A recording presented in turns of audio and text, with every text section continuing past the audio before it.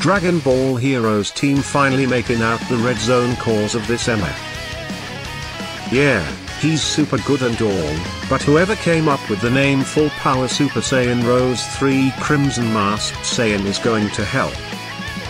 Dokkan devs really just said, fuck it let him seal his own super attack. Tech Gohan fans are salivating at this guy's guard and defense. I feel like whoever wrote this guy's passive skill fell asleep halfway through and never finished. 2019 R passive skill. Excellent support for any extreme class team, but come on, we all know why you really use her.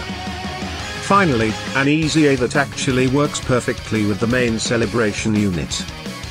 If I had a dollar for every time this Broly does a super attack, I'd be making money in a very weird way super strong and lives up to the Janemba name, unlike another tech Janemba.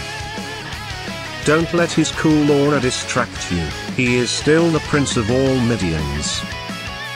They call her STR Towa, but nobody calls her by her actual name, semi-annual character box sandbag. Extreme class allies eating good when this guy's on rotation.